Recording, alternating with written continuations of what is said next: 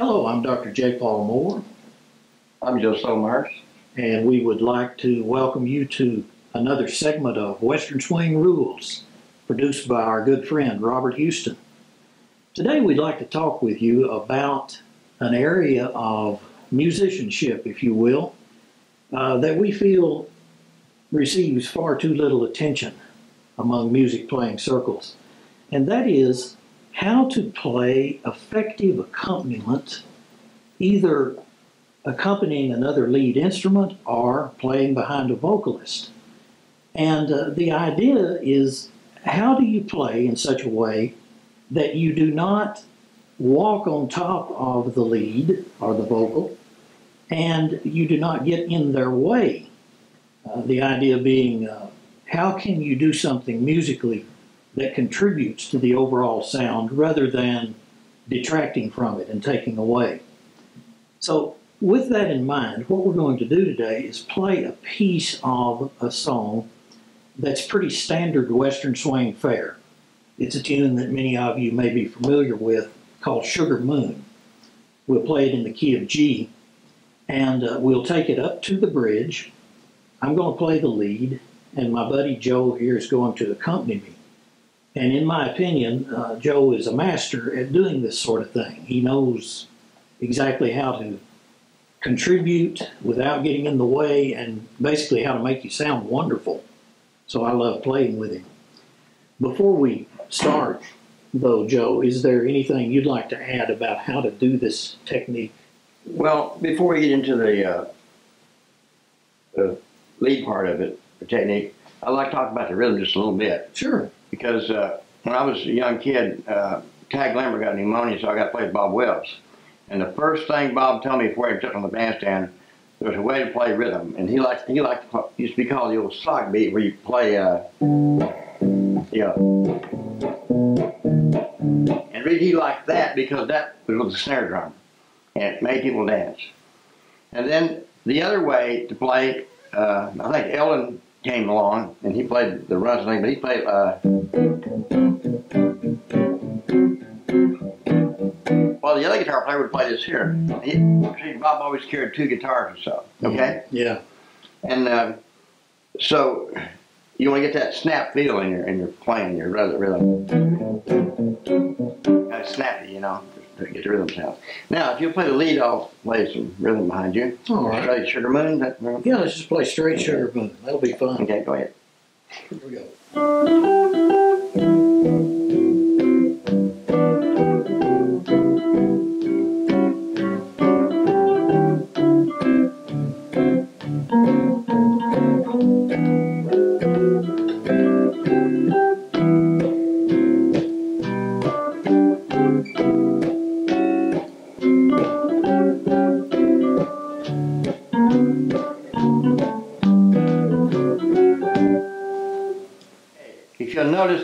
Part of the tune, I played this kind of thing here. Kind of like what the second guitar player would play. And then I, the last part of the tune, I played this sock, called a sock beat. That's what you call it. Where I did my hand like that. Both those feels add to the dancers on the dance floor and, and adds to the rhythm. That's why they like to dance to the Bob Wills and the Western Swing beats because of that beat like that. And the drummer would play very simple, hmm you know. I liked the way you did use both of those techniques within one verse of a song. Mhm. Uh, you switch from one to the other kind of in the middle. Mhm. And what that did is it kept it fresh and interesting all the time without anything ever beginning to sound overworked or overused. And uh, from my point of view as the lead player, I just felt like um, I was held in a nice little pocket there where uh, you weren't going to drop me or let me fall on my face, and I could relax and just play the melody. If you listen to Faded Love where Eldon played on it, hmm you'll see him play it. The first part he goes, uh,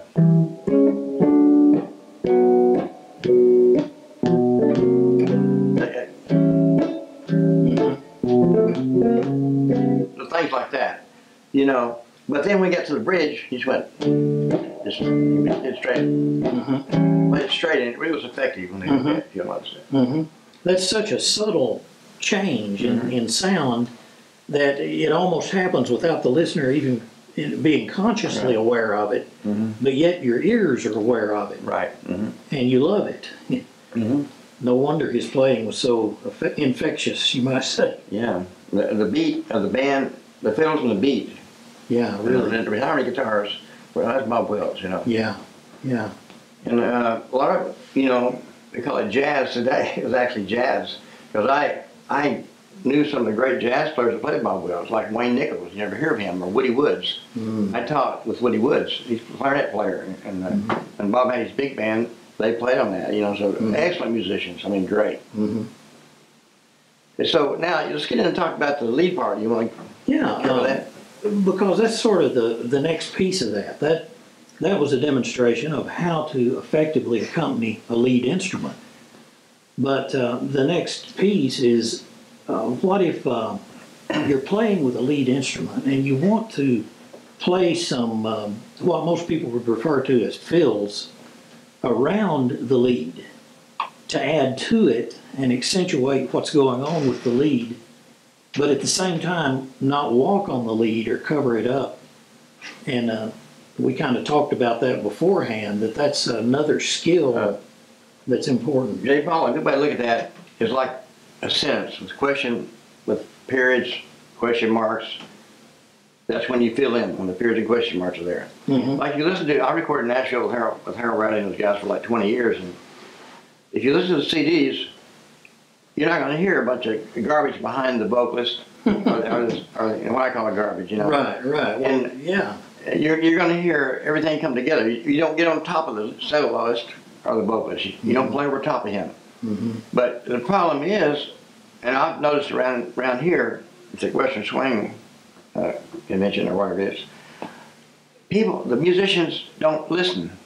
They're kind of playing for themselves, you know. Mhm, mhm. And so the, the singer's singing or the lead player's playing it, and here's the fiddle or the clarinet just playing on top of them.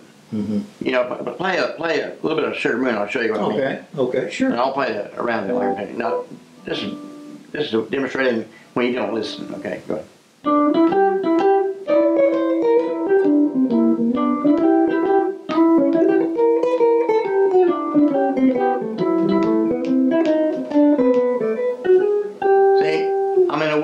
I'm in a Yeah, way of his, yeah. his, his, his lead playing. Yeah, Now, if he if we do it again, I'm going to listen and I'm going to play around what he does, like the sentence with the, the periods and the question marks and uh, whatever.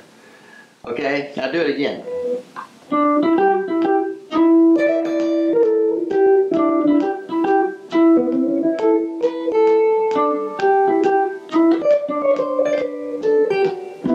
Now, now when when when his melody is moving, I'm stay I'm staying still.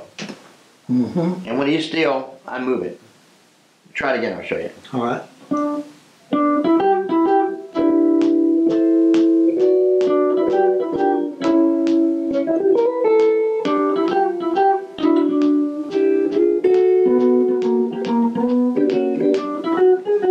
Okay, that's the way you, you want to do that. And uh, Beautiful.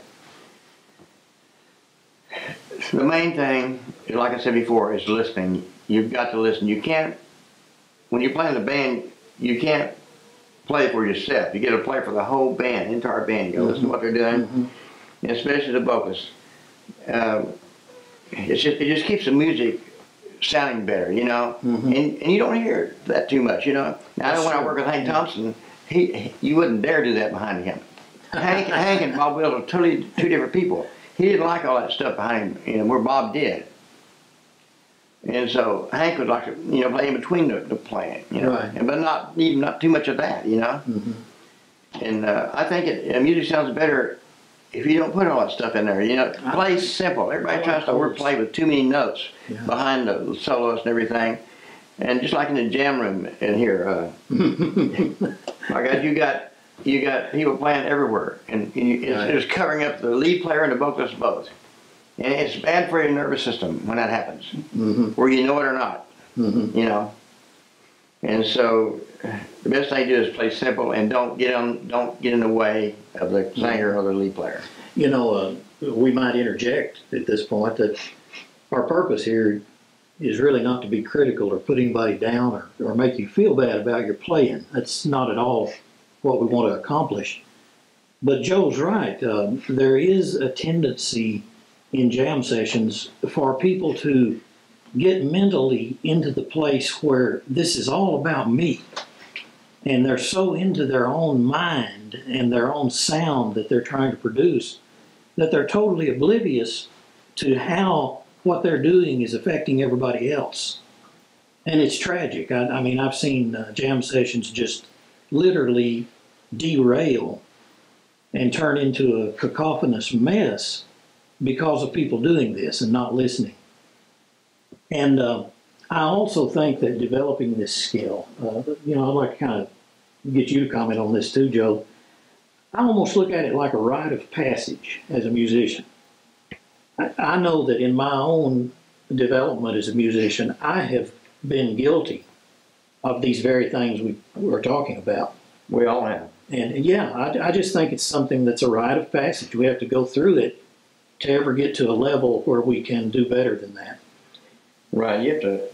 Uh, music is a hard thing to do. You know, you got to pay your dues. You got to do a lot of things to learn music, To learn it, yeah. and you learn it the hard way sometimes. You know, True, true. and uh, a lot of people will come and tell you, "Don't do that," you know, or or whatever, Mhm. which is good for you. You may you may not like it at the time, but then you think about it, and they've helped you out. You know. Mm-hmm.